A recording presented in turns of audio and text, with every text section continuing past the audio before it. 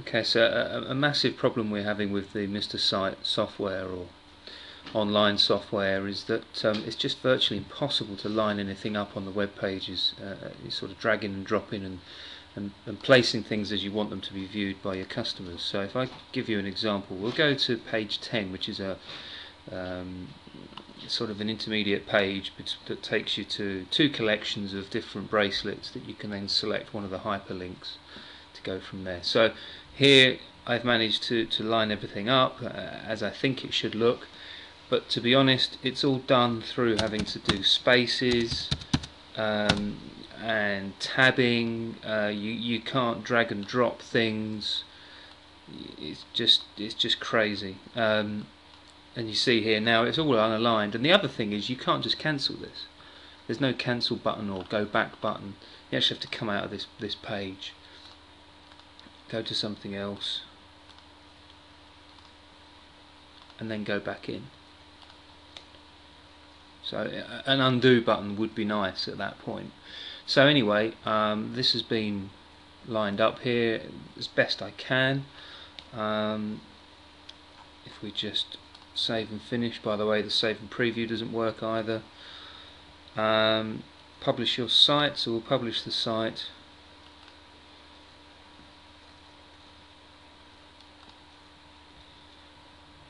So if we go to our bracelets page, it's completely unaligned. Nothing like what it should look like according to Mr. Site's design pages. Now, I, I don't know, is that a bug? Is there something I've done wrong? There's nothing in the manual to describe how to line things up and how to design your pages. Um, it's supposed to be the easier than easy way to do things. Well, if I have to go through HTML code to do it, then I don't call that easy, easier than easy, as you put it. Um, I'll show you now actually the save and preview page. Nothing happens. Doesn't work. Okay. Um, and to give you an example, I mean, I just cannot line up my home page how I want it. I want these. I mean, these aren't great at the moment. I'm going to redo them. I want these to be sort of lined up down here. The mailing list shouldn't be up there, it should be at the bottom. There's actually no way of, of working it out. Um, what have we got? Other pages. Okay, yeah, we've, we've got these kind of these lined up here, but they're not in the middle as they are in the design page. For example, let's go to and this keeps coming up. I don't know what this is. Absolute rubbish.